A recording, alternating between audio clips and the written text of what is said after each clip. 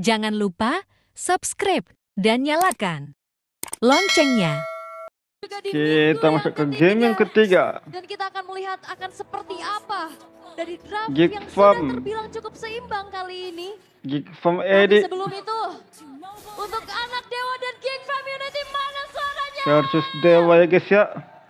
Wah, Jam 11 loh ini. iya Pak ini genderang di belakang saya nggak pernah berhenti dari Oh iya, tadi. benar, benar. Makanya. Saya agak agak agak budek dikit dengar kami tadi ngomong hah hah gitu gitu. Karena kencang banget dan wah Hazel ini kencang juga nih temponya kan dan retribution terpaksa digunakan. Ya dan kita lihat bagaimana Hazel. dari potensinya ya Alhamdulillah. untuk bisa ngegangguin. Ya tapi nggak cuma itu. P rotasi Assassin Jungle ini dia.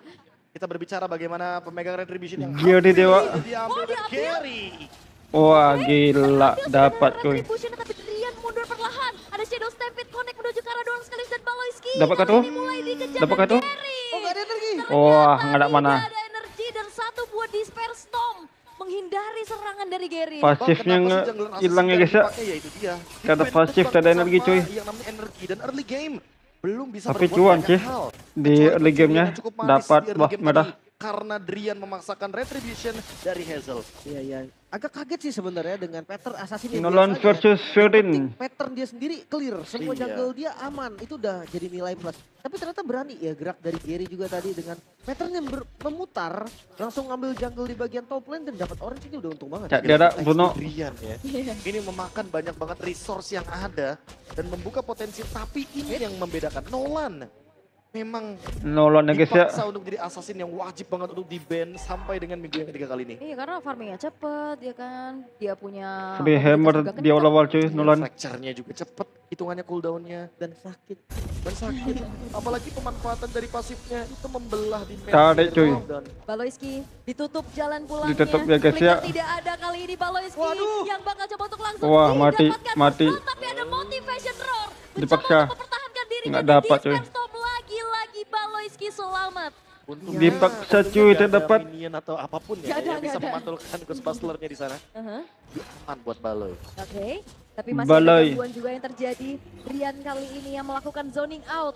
Sehingga ada free turtle yang bisa disecure oleh Gary. Oh, tapi lihat bagaimana efek dari Nolan ketika dilepaskan. Perbedaan dua level melawan Fredrin sekalipun tidak gentar sama sekali dari bapaknya Layla ini. Oh masuk lagi loh ini. Bapaknya Lela. Lawan. Yap, dengan fracture yang sudah mulai diaktifkan tertarik Tarik, cuy. Kembali dengan satu motivation roar-nya. Dan lihat bagaimana Drian ini betul-betul mengganggu dan menempel Hazel dan kali ini Watcher. Wah, gila, Drian. Mundur kali ini flicker menuju ke arah belakang. Ada Netherlam yang sudah diaktifkan juga dan tidak ada yang tumbang sejauh ini. Enggak ada yang tumbang ya guys ya. Akhirnya menjadi source yang terbuang barusan. Cuma ya lagi-lagi balonya selamat. Kayaknya nggak boleh ada yang Game ketiga nih, coy. Walaupun sekalipun itu adalah roamer ya, kayak case-nya selalu cover di sana. Dan mau nggak mau pressure early game dari Geek Farm sedikit ketutup ini yang dibutuhkan oleh Dewa. Detection. nanggung-nanggung. Oke, Waduh, wah dual beam. sakit juga ya itu. Sama Drian lagi. Dual juga. beam. Transmitter juga sakit loh, apalagi ke Marksman kan. Yang darahnya udah mulai tipis di Siapa yang nggak sakit ya itu gitu batu. Iya. Yes. Belum kalau misalkan tadi ada wall charge ya dan mungkin akan ada full baras yang paksa. Bakar-bakar. Minimal Purify-nya Cadera mungkin akan terpicu. Shimura. Gary, dia memanfaatkan movement, bukan ambush. Sekarang dia bermain dengan Hunter Strike cooldown reduction dan juga movement speed yang akan menambahkan lagi power movement dia ketika melakukan rotasi. Pada awal Ixia Beda cuy. ya. Biasanya gue lihat pakai heptasis di awalnya. Yap. Drian. Efek verifying. Watcher kali ini Wah, gila, Drian. terhadap Hazel. Tidak ada follow up damage yang cukup sehingga kali ini hanya bertukar informasi saja Watcher sudah diaktifkan. Kalau tadi Lim sempat mention soal heptasis, kayaknya aku berkaca sedikit soal item-item damage full tanpa adanya pertambahan HP. Dia mau Hunter Strike, habis itu si Halbert untuk apa? Untuk mengaktifkan Punish agar nantinya damage yang bisa diberikan ke arah Hazel bisa jauh Si Halbert. dua kali lipat bahkan mungkin lebih tinggi daripada damage konstan yang bisa dikeluarkan dari Nolan. Wah ini lihat berbeda dua level loh, Gary-nya cepet banget kan. Ini keep up-nya bagus. Dari Nolan ya, memang farming speed itu bakal jadi... Di early game Nolan cuy, kuat cuy. Dari turtle-nya, kembali di set up lagi. Tadi ya Dengan dapat buff merah ya, guys, ya. Dewa sekarang, ini saatnya mereka bersinar nih untuk ambil objektif. Yap. Dan kali ini akan ada Hajar. kontes besar-besaran. Hazel sudah mulai masuk, Netherrealm diaktifkan. Dan Minotaur. kali ini Hazel kembali Kena dua. on point. Mencoba untuk mundur tapi lihat belakang, awat. Dari Watt, efek tahun meng-cancel semuanya dan apa Wah, selamat cuy, Nolan. Coba untuk diledakkan tapi sayangnya tidak ada korban jiwa yang ditelan. hanya ada turtle yang bisa diambil oleh Geek Fam. Sampai di Jack menit Farm. kelima belum terbuka kill sama sekali. Pertempuran terjadi namun korban yang gak ada. Wah, of Korban yang ada ya guys ya. item yang diamankan oleh Case. Ini pertanda kalau mereka ingin mengurangi sedikit soal heal up yang bisa dibawakan oleh Minotaur. Dan bahkan Minotaur. di menit yang kelima belum ada first blood, belum ada korban jiwa. Dari masing-masing marksman juga baru mengamankan satu item. Brute Force menjadi jawaban dari Kimura. Dia butuh damage tapi dia butuh durable item juga. Masih-masih dah Sehingga cuy. armor HP-nya akan jauh lebih tinggi. Tapi Kimura sekarang Kimura dipaksa mati tuh. Oh no, Flicker Bam, kali ini Kimura meledak. tertangkap dengan Fraser Red bermain di dalam satu turret yang dimiliki. Oh, oh, oh, Mencoba untuk melakukan Wah, mati juga tuh. Tercipta dan termakan dengan damage dari turret. Sehingga Turret ya, ya. ini mundur melawan fracture-nya. Wah, Kali ini tipis. membuat dari Aboy harus mundur perlahan-lahan dan Rian sudah hadir. Tapi Tipis, satu bukan tipis. satu bukan hal yang adil karena sang jungler yang menghilang. Oh diketarik, oh mau di stun mungkin. Oke. Flicker terpaksa terbuang. Breakfast Fighter-nya sudah mulai dibuka. Pindah target Wah, Rian. gila, Luka. nampaknya tidak akan dikomit kembali. Wah, Gila, Luka. Gary memilih Hunter Strike. Dia milih untuk escape ke lini belakang ketika Fracture dia gunakan. Sehingga setidaknya ada satu tambahan daripada Gouge doang. Nanti energinya boros. Dursuka dengan movement speed yang bisa didapatkan dari Hunter Balik. Next, gold lane mungkin akan dikunjungi oleh beberapa pemain. Karena memang udah sampai dengan saat ini Dewa masih belum dapat keuntungan yang sepadan kecuali dari segi level Gary-nya saja. Oke, kali ini Wah, dapatkah Dengan kedokah? hanya Satu watch charge, Dri- Drian bakal coba untuk mundur. Dapat kedoknya cuy. Setelah mengganggu dan mendelay dan juga ternyata Buff Hazel dulu ya. tidak keluar ya Trinya. Iya iya karena memang tadi damage portraiternya nggak kuat. Punya Fury. Oke, Gary bakal coba dikomit. Mati tapi tuh. ada yang dilakukan dengan Nether Realm, tapi tidak Mati tuh. lama. Gary tertinggal sehingga kali ini harusnya Turtle akan jatuh ke tangan Hazel. Oke, ini Hazel. kelihatan jagal assassin ya. Yang sekalinya gagal snowball, dia langsung jatuh sejatuh-jatuhnya. Bahkan lihat, gak pakai lagi retri mau ambil purple buff nampaknya. Nah, ini dia nih. Ini dia kelemahan jungler-jungler assassin pengguna energi. Ketika purple buff-nya dirusuh udah pasti bakal rugi banget. Oh, Eternal Guard dan juga Fraser Wah, gila. bisa membuat dari Kimura ditemukan tidak bernyawa. What? Dengan adanya satu pergerakan ke arah bawah, bertemu dengan Luke, HP-nya udah low dan dia harus Berempat berlima cuy cuy di buff cuy. Mulai terbuka lagi dan gak bisa di defense. Mid-nya diberikan poros utama. Dari vision mereka sudah hilang. Berbahaya banget ini kondisi. Enggak mati ya. ya. Tiba-tiba keunggulan yang dipegang sama Dewa hilang seketika. Kejadian yang terjadi juga di game kedua sebetulnya kan. Ya tapi buat sekarang dengan player gold by UBS Gold lihat Cak Dera yang dari tadi bebas Gila, banget, Cak Dera. sama sekali. Even though ada assassin Free, Dera berada di free tower. dia punya Husk Claw juga.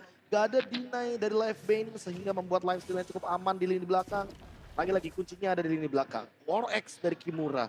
Tetap Cak Hanya ngepus, back. Luka ngepus ya guys ya. Si Halbert yang dimainkan sama Watt Atas target bawah. Untuk menghancurkan karena Fredrin terlebih dahulu. Dan sekarang Jebol, cuy. Apakah Aboy yang ditargetkan? Atau jangan-jangan baru nih akan mulai sadar untuk engage ke arah Cadera. Ini cari tiga planet sih kayaknya Be. Sama Cak dan Dada.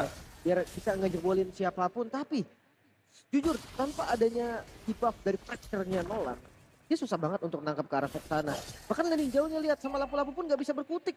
Gary, ya dia fight. What Oke, Wacar kali ini mulai terbuka kaca Dera yang akan menjadi target full barat diaktifkan. Tapi lihat Ih, dijauh ya. dengan adanya Hazel Ah, dan belum diaktifkan. Bahkan kali ini Drian yang tertangkap sudah. Kibur akan dikejar. Mati. Sumbangan damage dari Mbak bilang. berhasil juga untuk bisa mendapatkan satu poin kill tambahan. Dan kali ini. Cepet tidak awat hilang guys ya. Gila menghilang. Angel. Wah ini lagi-lagi di saat objektif yang muncul. Timing yang lagi-lagi tidak tepat untuk ke Dewa Langsung masuk dia, cuy, ke out cuy. Dan bisa langsung ditetap oleh Geek Fam. Wah ini koneksi antar satu pemain dengan pemain lainnya dari Geek Farm. Cover yang sangat-sangat efisien. Dan poin kill yang makin lama makin menuju ke arah Support kanan. awat Supriyadi. Gold swingnya juga sangat-sangat dominan.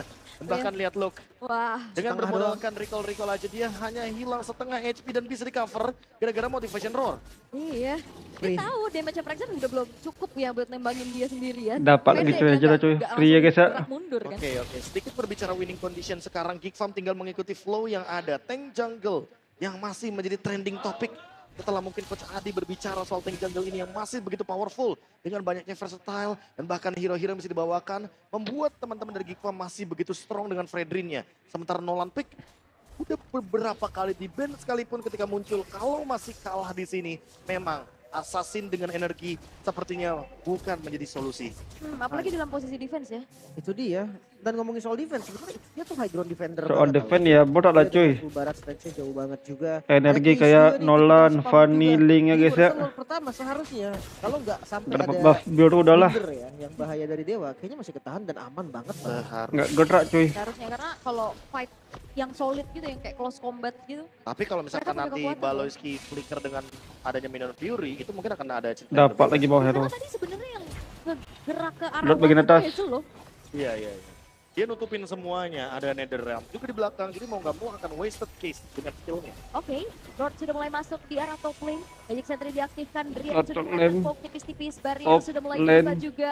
Dan kali ini satu buah base turret di arah top lane tidak terselamatkan. Dan masih ada Lord yang berjalan pula bergerak ke arah tengah dan perlahan Gary pun harus mundur tapi full baras setelah diaktifkan tidak mengenai siapa pun kali ini dan bahkan menuju ke arah bawah Luke-nya sudah mulai masuk tertimpa lagi Gila, tenas guard Kimura sudah Dikendangin kehilangan ya, guys, ya. Dewa ya. sehingga dari Geek Fam mereka harus set up ulang Masih bisa bertahan Dewa United, walaupun tadi full Dikendangin, dari cuy, Dewa, cuy. Cepet tuh. Yang kena akhirnya cuma Baloy doang. Tapi kayaknya masih mau dicoba Geek Fam, mereka nggak mundur. Ya, karena masih ada satu wave juga dan kali ini Baloyski, Flicker dan juga Minion Fury membuat dari Dewa United mundur belakang tengahnya. sehingga satu buah base turret di tengah berhasil untuk dihancurkan dan sekarang tidak ada lagi yang Bawah tersisa. hand hancur dia, cuy. semuanya Tiga? rontok. Baloyski bakal coba untuk langsung Gila, Tonto. sudah mulai dibuka cadar yang akan menjadi target. Bok. Tapi Baloyski saja yang berhasil untuk ditumbangkan oleh Nggak dapat.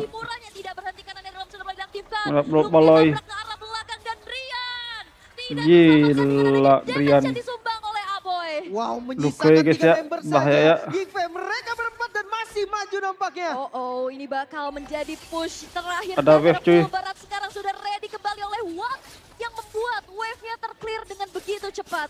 Wah, ini masih aman ya, masih aman harusnya. Cepat awat Masih bisa bertahan Dewa United, masih belum tumbang.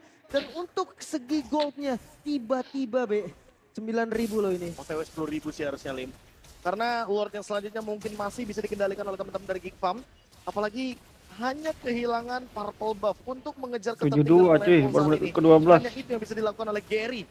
Hingga akhirnya dia mendapatkan ke-12, level 15. 72. Dan battle retri di ya. kayaknya bukan opsi yang ya. bagus Lim. Tapi dicoba kayaknya. Oke. Yakin? Tapi wah Driannya ini mau coba ngintip aja di panis dan lihat damage yang masuk ke dalam tubuh dari Drian.